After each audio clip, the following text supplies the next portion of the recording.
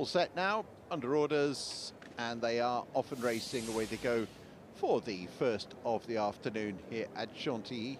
And the favourite uh, came away okay, but uh, as they settle down, the first to go on is Trovine.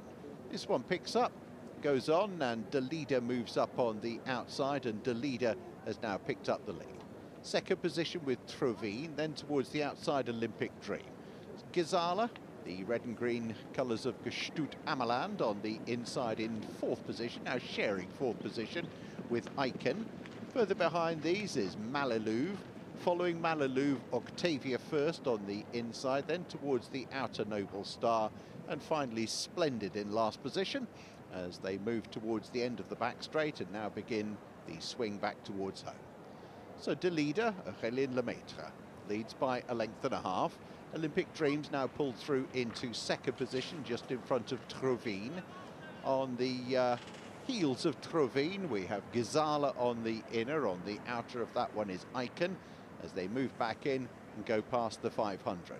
Well, Gazala is uh, travelling very strongly, but he's desperately looking for a gap to get out and it's Delida still leading the way and stretches on by a couple of lengths. Now he's got to the outside on Gazala, but he's got a lot of ground to make up, and Delida is well clear, five or six lengths in front. Finishing well on the outside is splendid, but Delida has stolen this from the front, and Delida is going to come home a very easy winner indeed. Bursting through into second is Octavia first.